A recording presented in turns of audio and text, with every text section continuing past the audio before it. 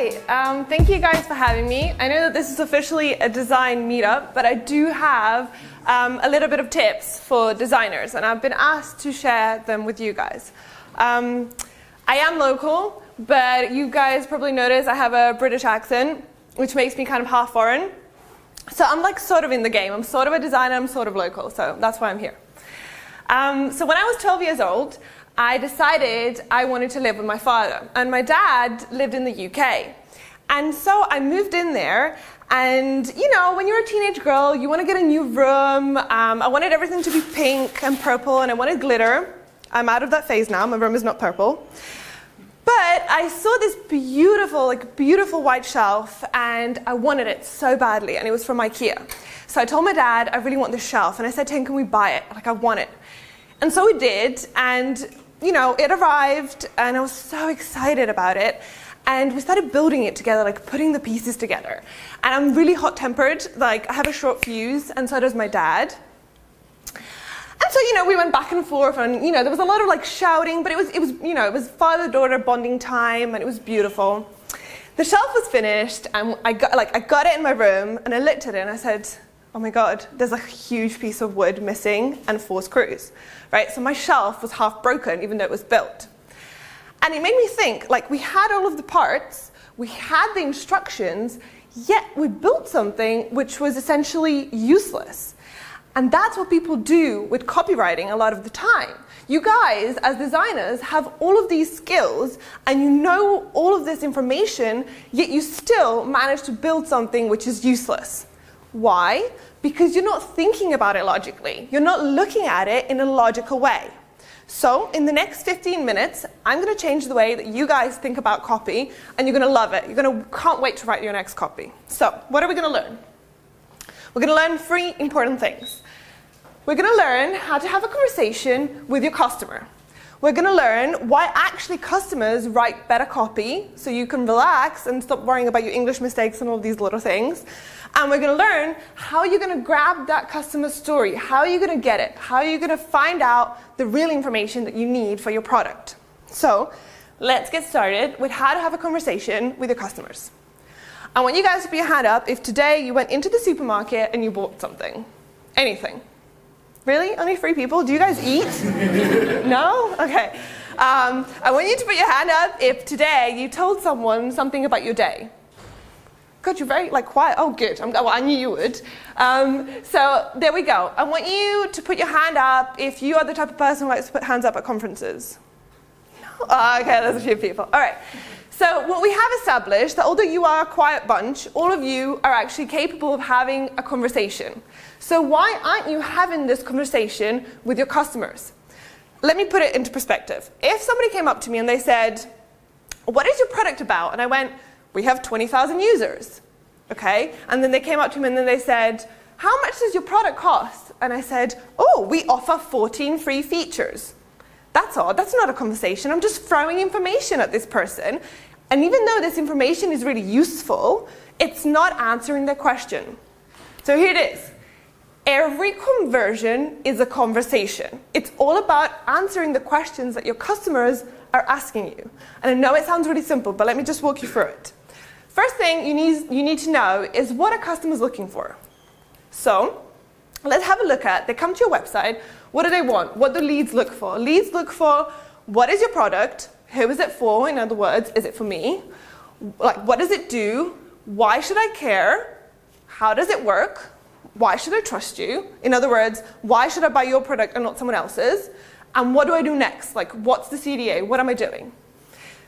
So let me bring you back to my IKEA shelf, right? So me and my dad had all of this because if you guys have ever built anything from IKEA, it's really simple. You get all of the instructions, you have all the parts. So we're like, where did we go wrong? We didn't know how to do this. We didn't know how to answer the questions you guys want to one? Uh, I didn't know. We didn't know how to answer the questions in the right order. And, and this is trickier than it looks, right? Because the first thing you guys need to be answering is, why should I care? And it might not be the most obvious, but it's the most important. Because the people, when they come to your website, when they want to buy your product, they want to find out why. Like, why are they coming there? The next one, what is it and who is it for? In other words, is it for me? Why should I care? And is this something that I want to buy? When you've answered that, you've done your job. You don't answer those things, you lose. That's it. Your lead is gone, you don't get that conversion, you're not having a conversation, you've got in for milk and you've come out with a banana, okay? So you really need to be focusing on the logic. The next part, you know, looking at the body, you need to be focused on how will your life improve, how does your product work, and why should I trust you? The trust you bit is always the nice, you know, the nice testimonials, the nice reviews, the really like happy, happy butterflies that people say about your product. And then finally, the CTA, what is, where, what do we go next? Do we sign up? Do we leave you the email? What happens next? All right, so you guys have all the right questions, you have all the right order, but you're still missing something. I'm gonna ask you one more thing. Who here has ever worked with personas? Who's created a, like a user persona? All right, we got more, more hands up. Okay, cool. I'm impressed. Um, so I love user personas, and I'm going to tell you about a couple. So here's Mary. Mary's 40 years old. Um, bless little Mary. She lives with 10 cats, and all her cats are beautiful. Her favorite one's Gilbert. She also likes to bake cherry pies um, in her spare time, and she loves to knit. Then there's Blake. Blake loves going to the gym. Like, Blake's at the gym every single day, seven days a week. The other thing he loves doing is taking photos of his abs and posting them on Instagram and Facebook. All right, so do you guys feel like you have enough information about Blake and Mary? Nodding? Um, yeah? Okay. Maybe, but you're missing one most important thing, the motiva- like the motivation. Why? Why do they care? Why do you care? Why do they want to go to the pro- why do they want to buy your product? Why are they coming to you? What's the motivation? Why is Blake so obsessed with Facebook and his abs? Why is it maybe he needs more gym gear, so he's coming to buy gym gear from you? Why? You need to be focused on why they're frustrated. What are they worried about? What are their needs, essentially? Uh, and what do they wish they could do? And very often when we create these personas, they're actually people we wish we like really wish our customers were. They're not real people. And we try and shove the customers into this outline and we're convinced that we're doing the right thing, but we're forgetting the why, the big why. How do we do that? How do we find out what it is that they're actually after? Well, we look at these things. We look at their pain points we look at their anxieties, and then obviously we look at priorities. So, not all pain points and not all anxieties are equal, right? Sometimes we have things that, you know, that are more important to us, some things we're worried about a little bit more, and so we need to be able to prioritize. And then finally, we look at the outcomes. Why are they coming to us? What for? What are they looking for essentially? So we have, you know, so now we're getting there. We're like in these past 10 minutes, we've got it, we've got the order, we know what questions we're answering, we know the why, you know, we're on the right track, but we're still writing really terrible copy. Why? Because customers are actually so much better at writing copy than every single one of us. And that doesn't mean that I'm out of a job as a copywriter and a marketer, but it just means that I need to listen to my customers. So I'm going to show you a few examples. All right. Sales made simple. This just sounds like a really terrible alliteration. Some kind of marketer is thinking, oh, I know, I'm going to make S sounds and write something down that makes that sounds really cool, like you know, like save time and money. And then you look into the distance. No one understands what that is, right? You hate guesswork and busy work, so we made sales less work. That's something that a customer wrote about this product. And how, like, can you guys, what can you relate to more? The thing that actually makes sense that you can understand.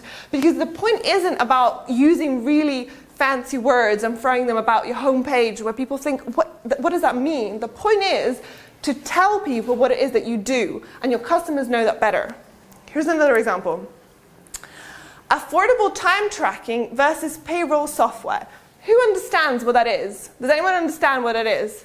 No, I have no idea what that is, honestly. I, like, I, wouldn't, I, wouldn't, I, I, would probably just buy it to see what it is. What am I buying? What am I affording here? Essentially, it's a time tracking tool that pays for itself. And that's what a customer said. Here's another one. This, this, this is probably my favorite. Breakthrough native reporting limitations. Native reporting limitations. I've studied in England for six years. I have no idea what native reporting limitations are. What is it? It's a report um, that your CRM can't give you. It's that simple. You're using a CRM and it can't give you a report, and this product is going to get you that report. Easy, right? So, you need to let your customers do some of the heavy lifting. Don't be afraid. Don't be afraid to let them do that. But how do we do that? How do we get that customer story? You know, how do we really get in touch with the customers? How do we speak to them? There are a few ways. So we can do that through customer interviews, we can do it through email surveys, we can do it for reviews and testimonials.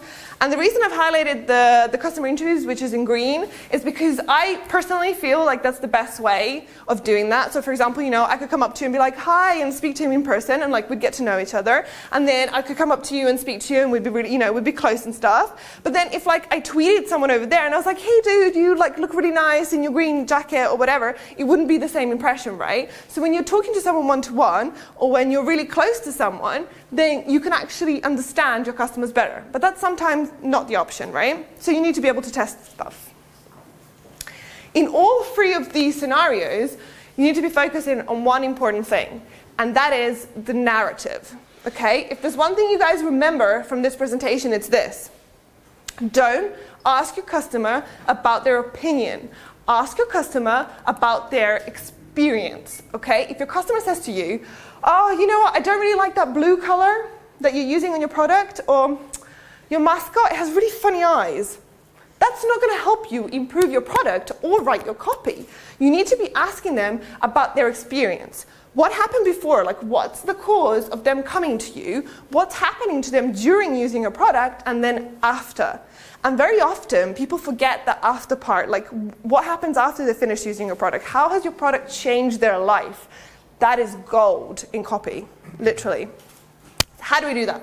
We need to ask the right questions. You see where we're going here? We're conversing, we know, we know the questions, we know what to ask now. What was going on in your business that sent you looking for a solution? What was the problem? What problem did you have that you wanted to find a solution for that you came to us? Easy. Here's another one. What else did you try and what didn't you love about it? A lot of the time, people will stop at what else did you try? And that's it. But you want to keep asking further. What didn't you love about it? What was the one thing that you didn't like about them and you found with us? Because that's the thing that makes you different. And that's the thing that's going to make you stand out. And you should put that in writing what almost kept you from buying from us? Now, this is a little bit of a daring one. I, uh, I call this the daredevil question because a lot of the time people don't like to ask negatives, but it's really good to find out what's the one thing that's holding people back from actually buying your product. And here's the positive version of that. What made you confident enough to, to buy our product, to come to us? What's the one thing you know you saw it and then you said, ah, these guys make sense. I'm going to go for it. I'm going to buy it. I'm going to do it. I'm going to sign up. This is great material. Now, what made, and then blank, so insert your, your product name. So for me, Manage WP, the best solution for you. Why, why are we different? Why are we the one, the one product that you want to be with? What differentiates us? Another one. When evaluating and then insert your product, for me again, Manage WP, what was the most important, to, uh, like, what was most important to you? Was it a feature? Was it the fact that, you know, we had a great customer happiness team? Was it, what was it that, what was so important to you when you were using a product? What made you stay, essentially? And here it is. It's the thing that I was telling you guys earlier. Don't forget the after part. So you've got why people came to you, why they're using your product, and don't forget to ask them what's changed, what's different. So what can you do now or do better than you could before? Like how is your life better? What makes what makes our product so important to you? And this is the final one. Give me an example of when insert blank your product made a difference for you. All of these questions are actually helping your customer tell you their story of how they came to you, what was it they were worried about, their motivation, how they're using our product, and how their lives are much better afterwards. Now, I want to show you this example because this is the one I worked on personally. So Carrie, she's an influencer in our industry, and I worked with her on a couple of interviews. We did uh, blog interviews and UX interviews, but from one interview, uh, I managed to get all of this. Top right corner um, is a blog po post by Carrie, so I wrote it, but um, interviewing her, and she's a freelancer. And so she talks about the, the, difficulties of freelancing, and a lot of our clients are freelancers and they use our tools. So this was brilliant because a lot of people came to it and said, hey, this is another person who does exactly my job, and she's using Manage WP. Isn't that cool? I could be doing that. I could be carrying those top right, and I can see my colleague there who does paid marketing. He used this ad to, for paid marketing campaigns. Brilliant. Why? Like one of the themes that we have is saving time. So why would I just say, hey, save time? Why not put someone who actually thinks that? It's a huge time saver. Brilliant. Bam, whole different story. Here at the bottom, we did a case study, which is also on our website. And what's interesting about this case study is that you get actual statistics. So she talks about actual statistics, what like how much in percentages did Manage WP help her. So she saved 40% of her time just using our product. And so we're getting this theme, and it's not just us marketers sitting, you know, I'm not just sitting there behind my desk, like writing, hey, save time and manage WP. I'm actually asking someone to tell me what is it like, what, what's, what's her impression. And finally, this is a testimonial which we use on our homepage and we use up various other material, like promotional material.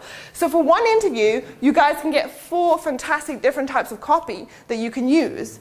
And so no longer can you say, I'm a designer, I can't write copy. Yes, you can. Of course you can, because your customers are doing the heavy lifting and you guys are just sitting there and listening to them. And this is it, and I'm sure you guys have heard this before, but you are not your customer. And we often make this mistake. I make it all the time. I've made it two weeks ago, and I've been in this industry for a couple of years just on this one product, right? Because what I think is really important and what I'm really proud of of our engineers, and I'm thinking these guys have worked on incremental backups for years and they're amazing, and I try and market that, and then customers come back to us and they're like, but the best thing you guys do is, is updates. And I'm thinking, what? We've spent two years doing one thing. Why are you coming to us for updates? But that's why they come to us and then they pick and like something else. So often I make the mistake of marketing the wrong thing. And you know, I've been burnt, so I've learned. Make sure you remember you are not your customer and just listen to them. And when you can't, um, you can ask for help from others. Now, you don't have to actually read this. Um, just look at the different colors in this email. And now I'm going to shame myself publicly. And this actually happened 10 days ago. Uh, we're writing an email for our customers because we're shutting down one program and we're opening up new, another one. So, and uh, I wrote this really high-end email trying to explain how we, you know, this new platform is just, we're so high-end, we're so secure, we're just so smooth. And I sent it to my customer happiness team and they destroyed me. They absolutely destroyed me.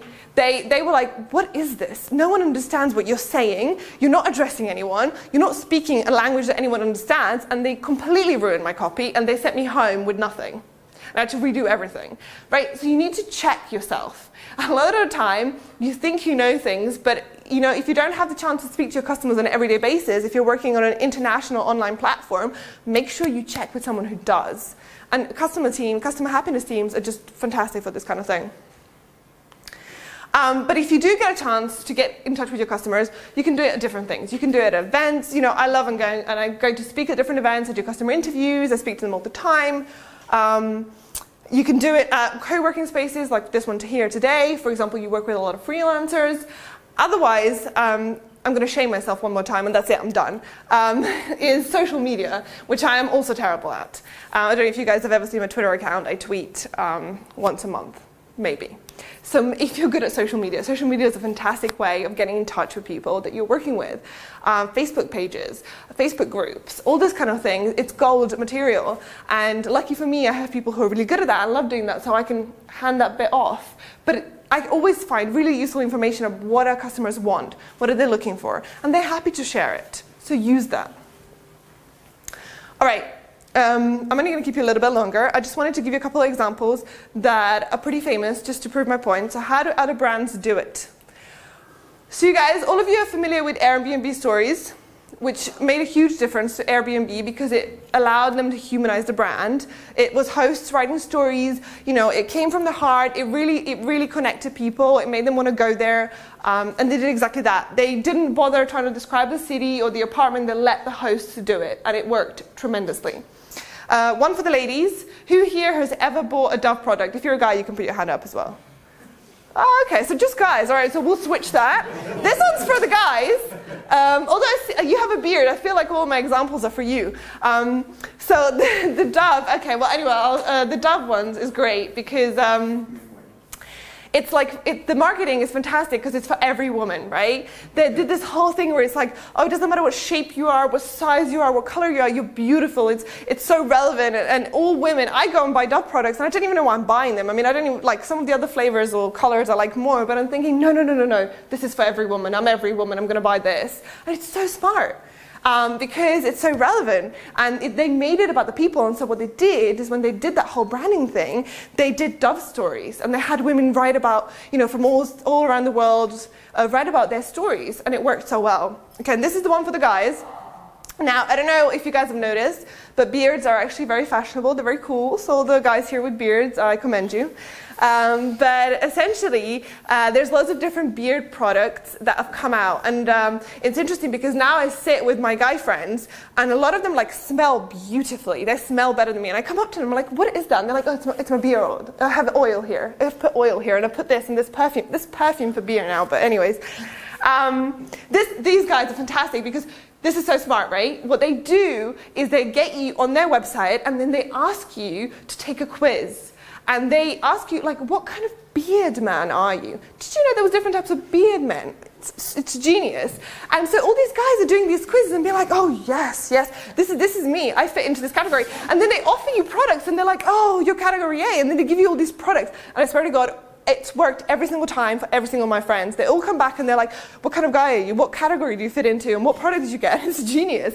Because they're actually making it about the people. They're asking the customers to tell them what do they want. And it's, it's not even that difficult. It's just being about the customer. All right. So to bring you back to my IKEA story, right at the beginning where I was telling you about my shelf, do you guys remember? Yeah? Um, it's funny because when I finished this whole speech, um, I realized that IKEA does this so beautifully um, because their whole brand is about, you know, it's made for people.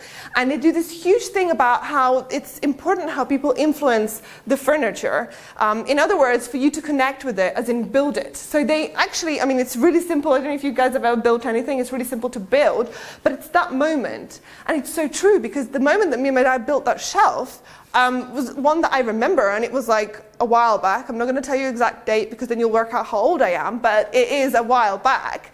And now it's in my room, and the gap is still there, which is filled by the English Oxford Dictionary, which obviously I've never used, but it's in my room. And it's standing there, and I'm looking at it.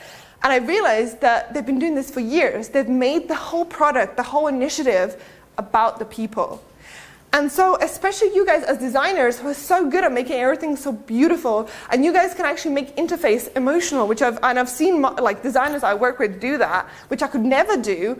Um, you you all are so worried about writing copy, and you have all of the material. You've got the skills, you've got your customers. You just have to talk to them, and let them know um, that you're listening, and use that, and that's it. And you're going to be writing high converting copy. All right. Okay, thank you very much.